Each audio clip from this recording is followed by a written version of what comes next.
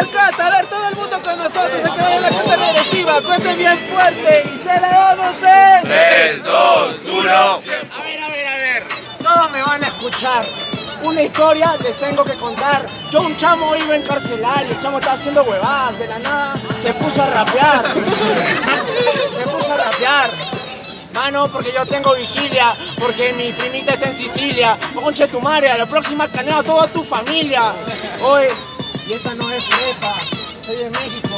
Esta no es prepa. Oh, hermano, la verdad que no me ganas aunque quieras. ¿No quieres que te canee? Cinco arepas, mínimo, mínimo, mi pana.